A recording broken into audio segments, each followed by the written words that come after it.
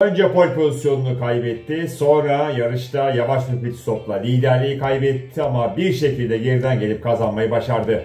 Max Verstappen Amerika Grand Prix'sinde bu sezonki 13. zaferine imza atarken Red Bull'da takım tarihinde 5. kez şampiyonluğunu ilan etti.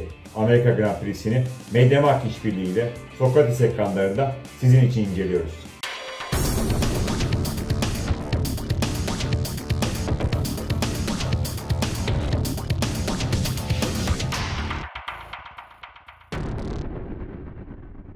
Evet bu hafta sonu Sokrates Stüdyo'nun harika ortamından, alıştığımız konforundan uzaktayım. Şu anda sizlere Toulon'dan, Fransa'dan sesleniyorum.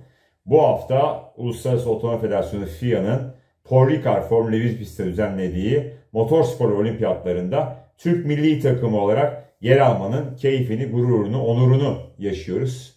Ve 8 e, ayrı branşta 10 sporcumuzla ülkemizi 70 ülke arasında temsil etmek üzere buraya geldik. Ben de TOSVET'teki genel sekreter rolüne beraber e, ne mutlu ki büyük bir gururla şu anda bu ekipte kafile başkanı olarak yer alıyorum. Dolayısıyla sizlere uzaklardan sesleniyorum ve e, her zamanki alıştığınız grafikleri belki bir kısmını bu hafta göremeyeceksiniz ama bu konuda da tabii ki affınıza sığınıyorum.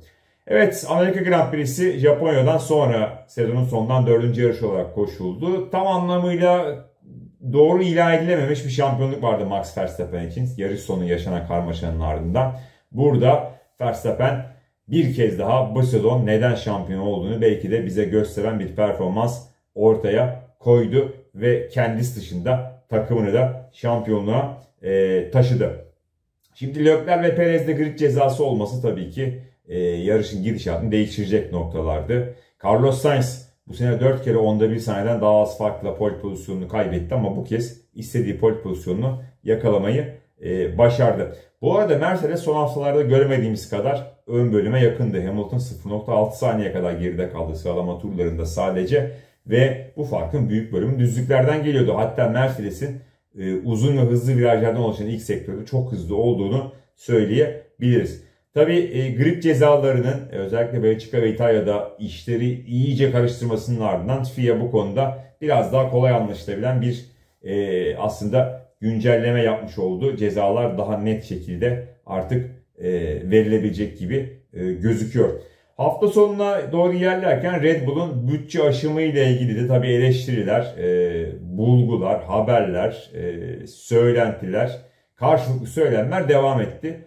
Bu konuyu daha önce Red Bull'la sevgili Çağıl'la yaptığımız soru cevap programında incelemedik çünkü bu konuda bize soru gelmemişti.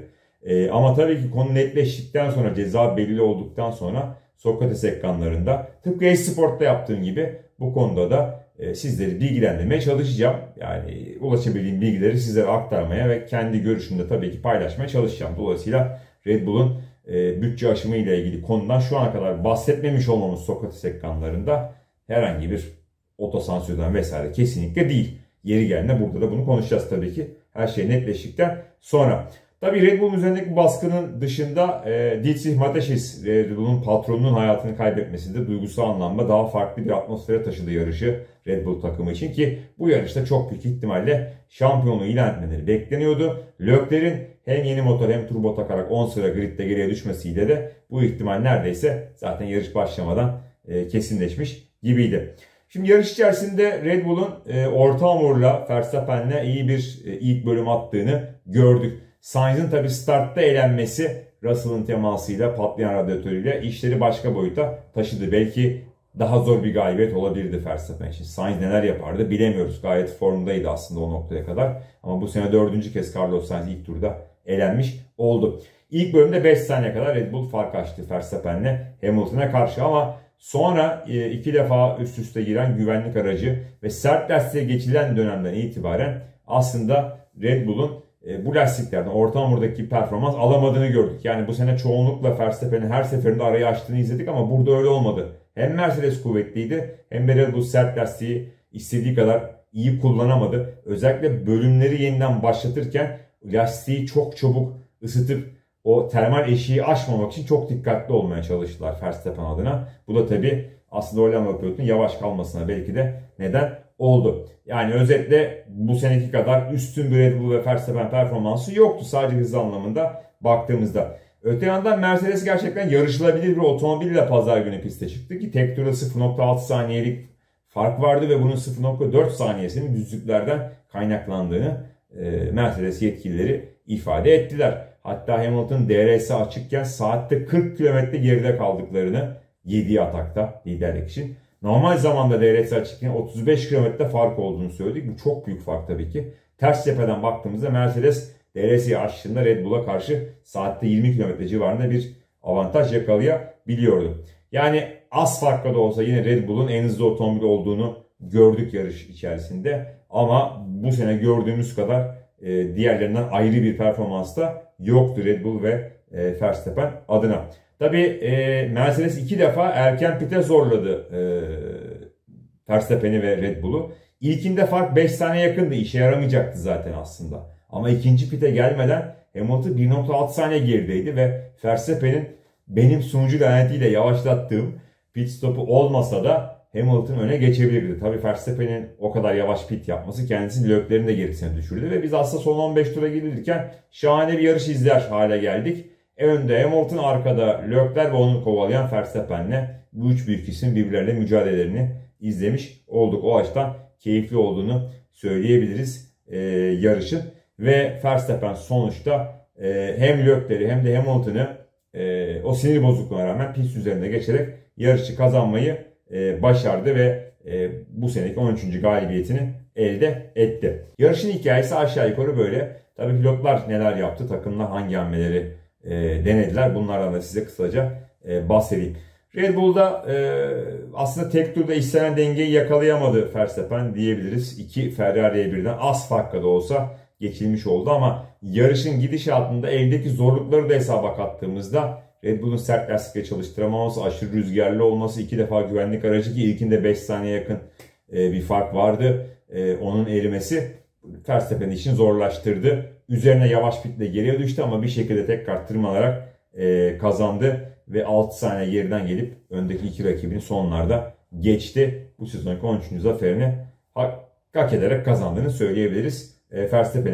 Perez'e gelirsek sıralama turlarında e, son sektörde özellikle zaman kaybetti. Zaten 5 sıra geriye düşecekti ceza alarak. E, ilk turda Bottas adeta omuz attı. Ön kanadına hasar verdi. Sonra o kanadın kenar kısmı koptu ve yarış boyunca bu şekilde o kanadı değiştirmeden belki 0.3-0.4 saniye kadar bir kayıpla belki biraz daha az olabilir. Yarıştı e, Sergio Perez. Ve o hani yaralı otomobille çıkarttığı işe baktığımızda dördüncülüğün makul bir sonuç olduğunu söyleyebiliriz. Ki sonlarda Lökler'i tekrar yakalayıp fark kapatmaya başlamıştı. Perez ama yarış bitti. 0.7 saniye kadar geride tamamladı e, Lökler'in ardında. Sergio Perez e, yarışı. E, aslında belki de o ilk turdaki kanat hasarı olmasa, onun zaman kaybı vesaire dengeyi değiştirmesi olmasa podyumda görebilirdik Meksikalı sürücüyü. Mercedes ilk sektörü çok hızlıydı. Hatta bazı bölümlerde pistteki en hızlı otomobil oldu ama düzlüklerde çok yavaştı Mercedes. Sene başından bana sürüklenmesinin çok fazla olduğunu görüyoruz e, Alman otomobilinin. Ve e, Hamilton e, sonuçta hani ikinci çizgiye çıkmış oldu öndeki cezalarla Russell'la beraber. Oradan Sainz kendisini eleyince bir sıra daha kazanmış oldu ve Verstappen'i baskı altına tuttu. Bu senenin bazı yarışlarında Mercedes'in hızlı olduğunu gördük. O haftalardan birisi de Amerika'daki e, yarıştı. Öne geçtikten sonra orada kalmak üzere de uğraştı ama tabi toplamda hala Red Bull daha hızlı otomobildi.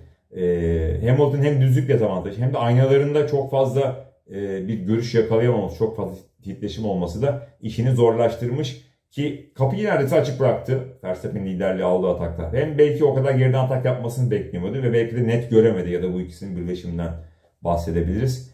E, aman çok uğraşmasına rağmen Hamilton galibiyete uzaktan bakmak zorunda kaldı. Russell yaz arasından sonra Hamilton'ın ciddi şekilde gerisinde kalmaya başladı. Hatta kendisi bir demeç verdi. Sene başı kadar rahat değilim o performansı bulamıyorum diye. Ve binde 41 saniyeyle de olsa bir kez daha Hamilton'ın arkasında kaldı. Dördüncü sıradan başladı e, yarışa. Aldığı 5 saniye cezaya baktığımızda bu sene verilen cezaları da göz önüne alırsak hani makul bir karar olduğunu söyleyebiliriz herhalde ve e, Russell da yine hasarlı bir ön kanatla yarışmak zorunda kaldı. Sonlarda e, en hızlı tur için pite girdi. Yumuşak lastik en hızlı turu yakaladı. Ama yani tempo olarak da 3 büyük takımın pilotları arasında en yavaş isimdi. Bir de otomobilde hasar olunca da bu grubun gerisinde kalması da normal oldu diyebiliriz. Gelelim kırmızılara Ferrari cephesine. Charles Leclerc sıralama turunda Sainz'in gerisinde kaldı ama zaten 10 sıra geriye düşecekti. 12. sıradan başladı. İlk turlarda sabırlı davranıp iyi tırmandı. Sonrasında güvenlik aracı yüzüne güldü. Russell'ı, Fethel'i ve Stroll'ü geçmiş oldu güvenlik aracıyla birlikte. Orada şansının yardımını cebine koydu ama yarışın kalan kısmında da iyi bir iş çıkarttı. Yani olaylara çok fazla karışmadı en azından. Verstappen'e yarış sonunda ilk seferinde iyi direndi ama tabii sonrasında e, geçirdi bir kez daha Red Bull sürücüsüne. Hatta bir ara sene başını hatırlattılar bana. Leclerc ve Verstappen'in arka arkaya kapışması yer değiştirmedi. Gerçekten keyifli e, anlardı. Özetle iyi bir performansı güvenlik aracının getirdiği avantajla birleştirip Leclerc'in podyuma çıkması iyi bir sonuç oldu diyebiliriz. Carlos Sainz bir kez daha çok şanssızdı. Çok hızlı olduğu bir cumartesi günü e, sonunda e, çok az farklı o istediği poli yakaladı ama daha startı ilk kaybetti. Belki geri dönerek bir atak yapmaya çalışabilir tepeden aşağı inerken. Zaten onu deniyordu muhtemelen ama Russell tabii kendisini arkadan çarpınca patlayan radyatörle Sainz bu sene dördüncü kez ilk turda yarışa veda etmiş oldu. McLaren cephesinde bir kez daha Norris çok hızlı. Ricardo yine kayıplardaydı açıkçası. E, Guan Zhou'nun silinen zamanıyla son bölüme kaldı Lando Norris. Yarışın ilk bölümü iyi geçmedi aslında İngiliz pilot için. 9. sıraya kadar e, geriledi. E, ve e, güvenlik aracından e, önce erken pite geldiği için de orada bir avantaj yakalayamadı rakiplerine karşı ama yarışın son bölümünde 14. sıradan başlayıp fırtına gibi yükseldi. Şahane atakları vardı özellikle ilk virajda içeriden ve dışarıdan ve sondan bir önceki turda Alonso'yu geçti 6. sırada iyi bir yerde. Bir kez daha sene başından bu yana abone olduğu yerde geri kalan en iyisi olarak yarışı bitirdi. Ricardo'ya baktığımızda ise yani perşembe günü atla piste gelmesi dışında dikkat çeken hiçbir e, anı olmadı neredeyse hafta sonu e, boyunca. Sıralama turlarında Norris'ten 0.6 saniye geride kaldı. Yarışta da ekrana bile gelmedi. Hiçbir etki e, yaratamadı bir kez daha. Ve e, sadece Latifi'nin önünde yarışı sondan ikinci olarak bitirdiğini gördük. Avustralyalı pilotun unutması gereken haftalardan birisi daha oldu diyebiliriz. Aston Martin yeşil otomobiller için yarış şahane başladı. Makul bitti diyebiliriz ama çok daha iyi bir hafta sonu sonucu yakalanabilirdi. Zaten ilk 16 yarışta 25 puan alan takım son iki yarışta 20 puanı cebine koydu bildiğiniz gibi. Ee, Sebastian Vettel sıralama turlarında kendi deyimiyle daha iyi bir tur atabilirdi ama bunu e, gerçekleştiremedi. Fakat yarışta şahane bir startla çok iyi tırmandı ve normal bir gidişat 6. cebine koyabilecekti ama Aston Martin pitti onu katletti adeta. Hani en olmayacak yerde çok kötü pit stop yapmış oldular. 14 saniye kadar bir kayıp oldu. 13. sıraya geriledi Vettel ama e, çok iyi bir tırmanış gerçekleştirdi. Elindeki otomobile de baktığımızda ve yeniden puan alacağı yerlere kadar çıktı. Alonso'nun cezasından sonra da 7. oldu. Bu Vettel gerçekten özlediğimiz Sebastian Vettel'di e, hani yeri geldiğinde agresif, yeri geldiğinde sabırlı yarışı iyi okuyan e, hani bir şekilde akıllı bir yönetim ortaya koyan bir performanstı. Çok uzun zamandır da Sebastian Vettel'i bu kadar hızlı ve net şekilde kararlı görmemiştik. Hiç emekli alacak pilot görünümü yok. Tam tersi Ricardo emekliliğe giden adam modunda neredeyse. Vettel bu hafta gerçekten adeta e, alev aldı e, diyebiliriz. Belki de erken emeklilik kararı mı aldı bilmiyorum. Çünkü Aston Martin de biraz daha durumu iyileştirdi. Vettel'in kendi performansı iyileşti ama bir şekilde o anons yapıldı bildiğiniz gibi. Lance Stroll çok iyi bir sıralama turu geçirdi. Normalde Stroll yarışlarda orta sıralar için iyi pilotlardan bir tanesi. Çok fazla göze batmıyor belki. Belki isminden dolayı değerinden daha azını bulabiliyor algı olarak baktığımızda. Ee, zayıf noktası sıralama turları. Bu hafta onu da iyi yaptı. 7. oldu. Cezalarla 5. sıraya çıktı. Startta 3'e tırmanmış oldu. Ama ondan sonra hani Aston Martin 5-6 olacak gibi giderken e, hakikaten bir değerlendirme hatası yaptı. Alonso'nun kendisi geçmeye çalışması başlamıştı o sola doğru geçmeden önce ve çok büyük bir kazayı başlatmış oldu. Verilen ceza da haklı kendisine e, bana kalırsa ama hani daha da kendi adına çok iyi bir sonucu kaçırmış oldu. E, Lance Stroll çok iyi geçen cumartesi günden sonra. Haas Ferrari Magnussen'in şahane bölümüyle kendi evinde puan almayı başardı. 2016'da ilk defa bu piste çıktığında Haas puan almıştı. Sıralama turlarında ikinci bölüm 1017 saniyeyle kaçırdı e, Magnussen. Yarışı tek pitle bitiren tek isimdi. 38 tur attı orta hamurla. Neredeyse son tura lastikleri bitti ama o puan alabileceği yere asılmaya devam etti. Fetel de hakikaten sonlarda güzel bir mücadele ortaya koydu. Heyecanlandırdı bizi ve e, takımına önemli puanlar kazandırdı. Kevin Magnussen. Schumacher'e baktığımızda sıralama turlarını 16. olarak e, bitirdi. E, tümseklerde memnun değil otomobilden Alman sürücü. E, ilk güvenlik aracı periyodunun ardından 12. sıradaydı. Puanı zorlayacak gibi gözüküyordu. E, Stroll Alonso olayı onun önünde gerçekleşti ve otomobil parçalarından dolayı hasar görmüş. Sonra öğrendiğimize göre ve bundan dolayı da temposu düştü Schumacher'in. Finish'e de 14. sırada geldi. Şanssızdı açıkçası bu açıdan bakarsak. Alfa Tauri cephesinde e, Yuki Tsunoda'ya e, bakarsak Japon pilot Gazi'den biraz daha hızlı gibi gözüktü e, sıralama turlarında. E, ama son turunda önden kayma sorunu ortaya, ortaya çıktı. E, ve silinen turlarıyla beraber de Tsunoda erken elenmiş oldu. Ama yarışı iyi götürdü hakikaten. 12 yarıştır puan alamıyordu. O seriyi noktalayacak kadar iyi bir iş ortaya koydu. E, güvenlik aracından önce pite gelmişti. Onun için o dönemde piste kaldı. Tekrar bir pit yapmadı ve bu da ikinci pitinden sonra aslında saldırması gerekmesine neden oldu. O da bunu iyi yaptı, iyi tırmandı diyebiliriz. Albon'u geçmesi kritikti. Ee, ve hani iyi bir hafta sonunu aslında ortaya çıkartmış oldu Yuki Tsunoda. Gazi de aslında iyi sonucu kaçıran isimlerden bir tanesi oldu bana, bana kalırsa. E, fren problemi yaşadı sıralama turlarında e, bir kez daha. E, yarışta 8. sıraya kadar tırmandı ilk bölümlere baktığımızda. Hatta bir ara 7.ydi ama yine fren problemi ortaya çıktı. Ve güvenlik aracı ardında Perez'in Singapur'da aldığına benzer bir ceza aldı. Sonra cezayı doğru çekemediği için bir daha ceza aldı. Oradan sonra yarış zaten tepe taklak gitti diyebiliriz. E, Pierre Gasly için hem şanssızlık hem kendi hataları arka arkaya geldi ve e, hafta sonunu puansız kapattı. Fransız sürücü. Bir diğer Fransız Ocon hiç ortada gözükemedi. E, sıralama turlarında zaten 0.6 saniye Alonso'nun gerisinde kalmış. İlk bölümde yenerek büyük ayak yaşadıktan sonra normal güç ünitesi takması, pitten başlaması bunlar aslında iyi hamlelerdi. Fransız sürücü 11. sıraya kadar çıktı aslında yarışın ikinci bölümünü koşarken kendi adına ve oradan daha yukarıya tırmanamadı. E, açıkçası e, hani eldeki otomobilden daha iyi bir iş çıkarmaydı Alonso'da gördük. Ama geriden başladıktan sonra da bir yerde bazen takılıyorsun Gazi'nin başına bu geldi diyebiliriz. Fernando Alonso cezasından belki sonra konuşacağım ama pilotaj olarak gerçekten çok iyi hafta sonlarından birisini daha ortaya koydu. E, sıralama turunun son bölüme kaldı. Ceza alarak geriden başladı. Tırmandı. Ondan sonra e, Stroll'ün hatasıyla uçak kazası yaptı neredeyse. Hem fiziksel olarak kendisi devam etti.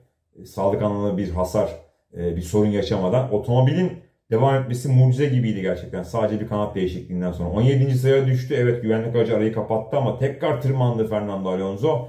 Bütün canını dişine takarak aldığı puanlarda Haas'ın e, itirazından sonra en azından biz bu programı çekerken elinden kaçmış oldu. Aynası kopup uçtuğu için. Tabi burada e, hani hakikaten Alonso'nun otomobil ötesine geçebildiği yarışlardan birisi olduğunu söyleyelim. Gelecekteki takım arkadaşıyla yeni takım patronunun oğluyla çarpışmış oldu. Bu da belki de ikilinin arasındaki ilk kapışma olarak görülebilir bu haberin duyulmasının ardından.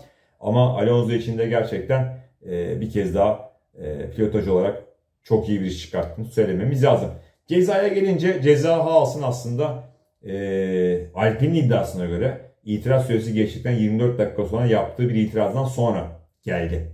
Komiserler Kurulu Alonso'nun otomobilin yarışta güvenli olmayan şekilde yarıştırıldığına hükmetti. Yarış bittikten sonra burada yarışma direktörü Nils Wittig'in e, siyah ortası turuncu arıza bayrağını çekmemesini eleştirdiler ee, ki komiserler kurulu kendileri bu cezayı isteyip yarışta verebilirlerdi. Kendileri de muhtemelen ya fark etmedi ya önemsemediler itiraz gelene kadar. Ama sonrasında verilen cezayla Alonso'nun bütün bu çabası boşa gitmiş oldu ki Alpin de itiraz etti. Bakalım nereye varacak bu itiraz yeniden değerlendirilecek konu daha doğrusu. Şunu söyleyeyim. İtiraz süresi geçtikten sonra yapılan itiraz normalde komiserlerin kabul bile etmemesi lazım. Komiserler kurulu şunu yapabilir Yarıştan sonra yeni bir kanıt, yeni bir bulgu ortaya çıkar. Bir hesap hatası vardır, maddi bir hata vardır. Bunları gidermek üzere komiserler klasmanı değiştirebilir yarış bittikten sonra. Ama resmi klasman açıklandıktan sonra bir rakibin diğerine yaptığı itirazdan dolayı bence bu e, incelemenin yapılmaması gerekiyordu. Ha inceleme yarışta neye varırdı? O aynanın kopması tehlikeli mi? Evet tehlikeli. Felipe Massa'nın 2009 Macaristan'da başına gelen hatırlıyorsunuz. Ölümden döndü adeta Brezilyalı sürücü. E, onun için e, daha önceki örneklere bakarsak kanat kenarı e, dan dolayı Magnussen 3 defa daha önce pite çağrıldı. Zaten Haas da biraz aslında onun intikamını almaya çalıştı belki de. Ee, ama tabii aynayı değiştirmek o kadar kolay bir iş değil. Hemen çabuk yapılacak bir şey değil ön kanat gibi.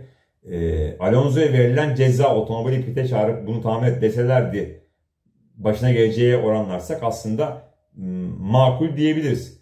Ee, ama tabii bu cezanın dediğin gibi ne zaman nasıl verildiği, hangi itirazdan sonra verildiğine bakarsak bu tabii çok farklı bir yere götürüyor işi. Bakalım komiser kurulu ne karar verecek konuyu yeniden değerlendirirken. Alfa Romeo'da Guanjo hızlı oldu hafta sonlarından birisini e, aslında bize e, izletti. Ama silinen turlarıyla sıralama turlarını daha yukarıda bitirebilecekken gerilere düşmüş oldu. Zaten cezası da vardı 5 sıra. 3. bölümü kaçırdı Guanjo açıkçası hatalarıyla.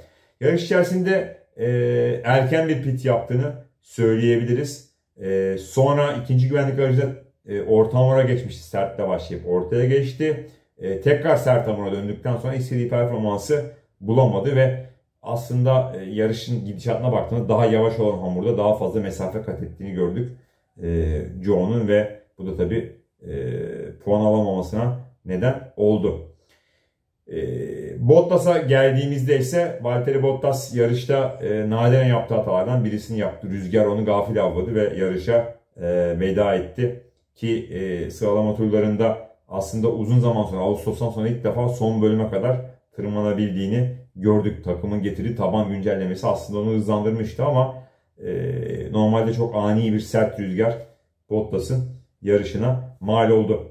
Williams'ta puan alacak bir hız yok gibi gözüktü yarışa baktığımızda. Albon aslında cumartesi gününü iyi geçti ve sadece binde 27 saniyeyle son bölümü e, kaçırdı. Yarışın ilk bölümünü 12. sıra civarında koştu Alex Albon ama daha startta ön lastiklerini blokajla yakmıştı. Bu da erken bir pite neden oldu. Erken pit olunca yarışın kalan bölümlerini istediği gibi optimize edemedi. Doğru uzunluklarla o bölümleri atamadı e, Albon ve sonlara doğru lastikleri bittiği için de puan barajının dışına düşmüş oldu.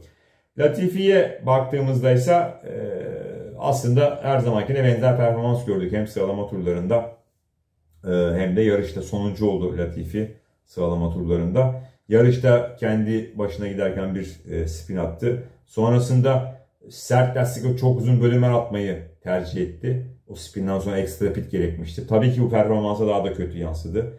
Schumacher zorlarken bir ceza aldı. Yani özetle hiçbir şeyin yolunda gitmediği bir hafta sonu daha oldu. Latifi için Japonya'da harika yarattıktan sonra aslında e, burada e, bir kez daha bir fark yaratamadığını gördük. Nicolas Latifi'nin.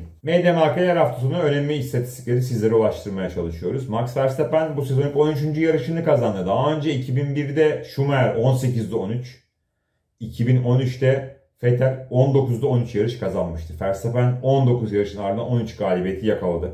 Oransal olarak Schumacher'in gerisinde. Kendisi bundan bahsetti. Bunu kesinlikle başarısını küçümsemek için söylemiyorum. Sakın yanlış anlamayın. Ee, sezon sonunda kalan 3 yarıştan bir tanesini kazanırsa Verstappen bir yılda en fazla yarış kazanan isim olacak. Ama tabi yarışları sayısına oranladığımızda en başarılı seri bu olmayacak. Yine de tabi çok çok çok büyük başarı onu da söyleyelim tekrar. Yani bir yılda 10 galibiyet üzerine geçtiğiniz zaman zaten şampiyon oluyorsunuz. Hamilton'da bunu defalarca, Schumacher'de defalarca gördük. Ee, Red Bull 8. kez üst üste e, yarış kazanmış oldu ki takımın rekoru 9 galibiyet. 2013'ün son 9 yarışını Vettel kazanmıştı üst üste zaferlerle. Charles Leclerc 5. E, kez üst üste podyuma çıktı. Kariyerinde ilk defa böyle bir seri yakalamış vaziyette. Sebastian Vettel Aston Martin'le harikalar yarattı. İşte kısa bir sürede olsa lider gitti ve kariyerinde 3500 turu geçmiş oldu liderlikte ki iyi denk geldi gerçekten de bu harika performansla bu 3500 turun e, geçilmesi ki son 3 e, yarıştır ilk 8'de finish'e geliyor Aston Martin. Sebastian Vettel'in buradaki e, performansını ortaya koyduğumuzda.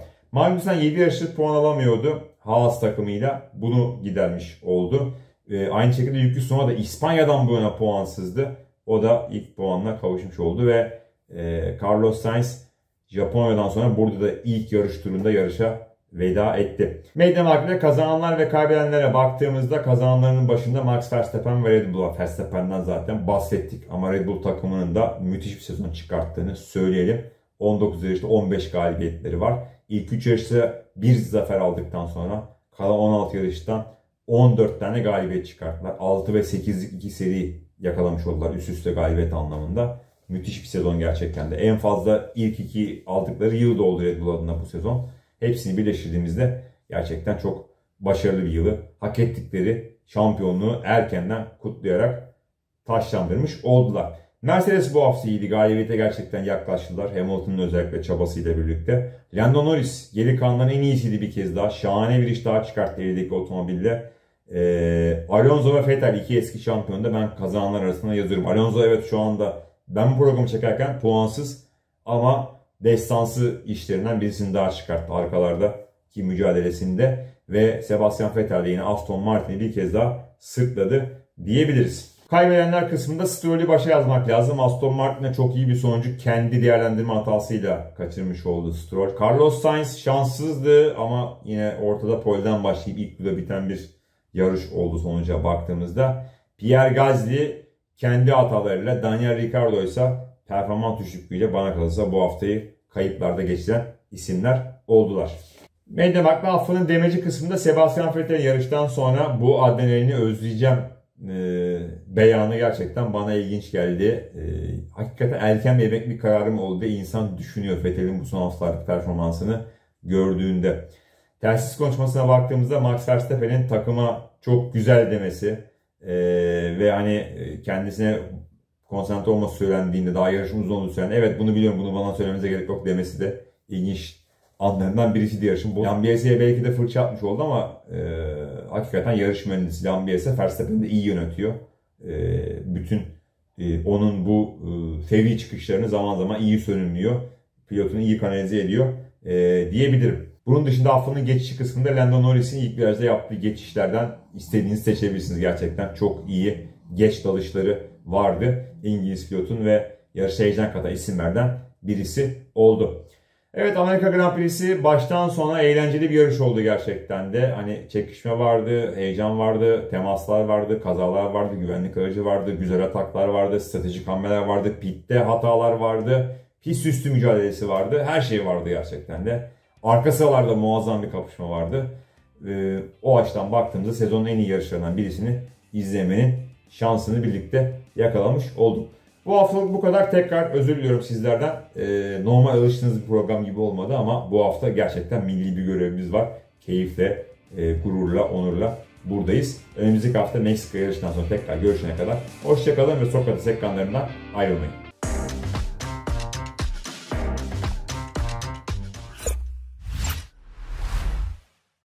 Çağıl Özgü Özkul ve Yiğit Tezcan, Formüle 1'de yarış haftasını değerlendirirken sporun dününden ve bugününden en özel hikayeleri Sokrates GP'ye saklıyor. Her çarşamba Sokrates Podcast pistine bekleriz.